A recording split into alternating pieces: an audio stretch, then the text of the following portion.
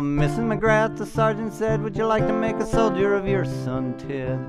With a scarlet coat and a big cockhack. Now, Mrs. McGrath, would you like that? With a two rifle diddly yay, two rai rai rai, two rifle diddly yay, two rai rai rai.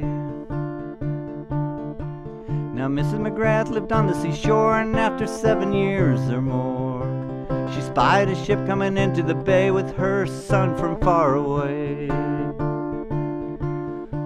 Oh, Captain dear, where have you been? You've been sailing the Mediterranean.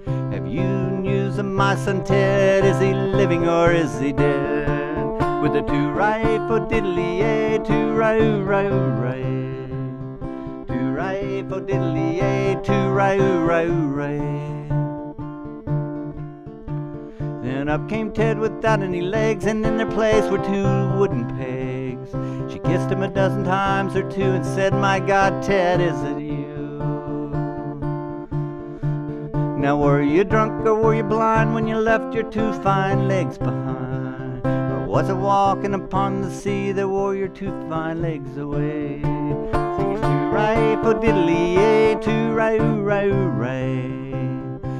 Two rifle diddly yay, rai rai rai.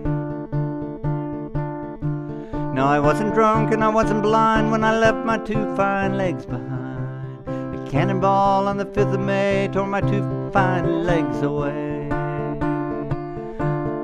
Oh, my teddy boy, the widow cried, your two fine legs were your mother's pride. Stumps of a tree won't do it all. Why didn't you run from the cannonball? With a two rifle diddly yay, two rai rai rai. Two rifle diddly yay, two rai rai rai. All foreign wars I do proclaim live on blood and a mother's pain. I'd rather have my son as he used to be than the king of America and his whole navy. With two rifle diddly yay, two rai rai rai.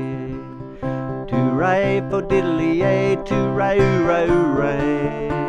With a two rifle diddly two rai rai rai. With a two rifle diddly two rai rai rai.